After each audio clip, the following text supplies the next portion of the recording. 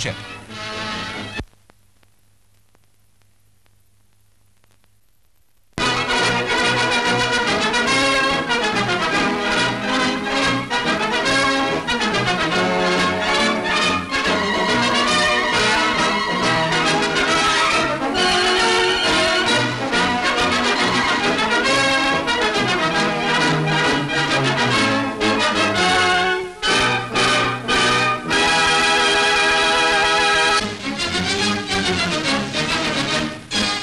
Volunteers are coming forward, equipment is being provided, and Britain is at last awakening to the drastic need for air raid preparedness.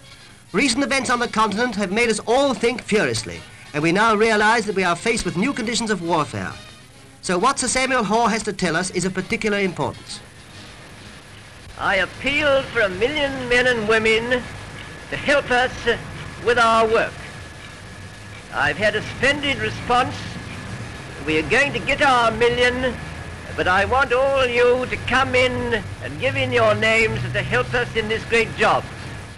Here's a training centre at Westminster where volunteers are learning the work of decontamination. There are, of course, other aspects of anti-aircraft work in which there is a call for volunteers.